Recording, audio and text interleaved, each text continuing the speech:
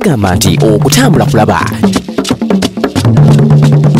naye uganda nsingagga erimu ebyewuunyisa ntoko by'omanyi ne by'obadde tonnazuula. Omuzungu kyava agituuma ekkula lya afirika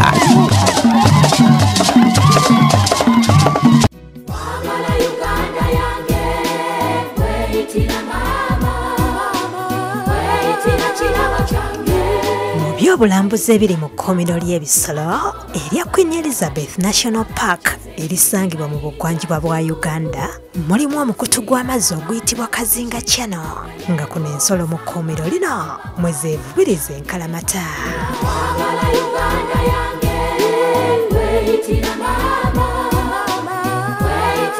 muno osangamu enjovu nga zinaaba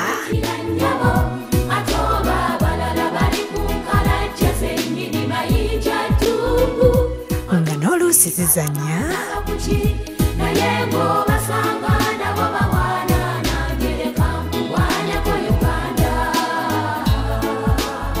ate olundi osanga zisambagala.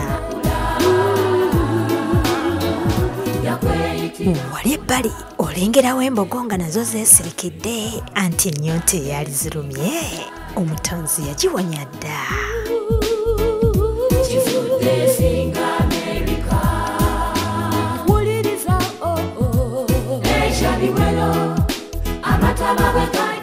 bwe weeyongerayo olwo n'olaba envubu eza buli ngeri nga ziri mu mazzi zeewogomya omusana. Bwe zebbika bwe zibbulukoka nga nazo zeebaza ddunda namugereka eyateekateeka ensi eno ennungi okuzaama. Uganda yange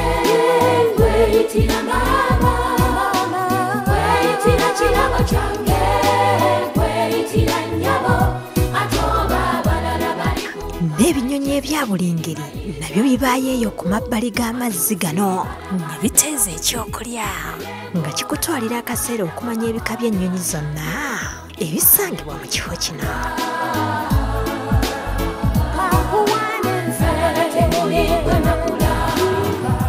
Kyaddaaki olugendo lwa queen elizabeth national park omala n'olwerekereza noddeeka osange bye waleseeyo banyumizeemu by'olabye ebinyuma byemeza byokka byokka tweriire mulaba bugagga bw'ensi. Uganda yatondebwa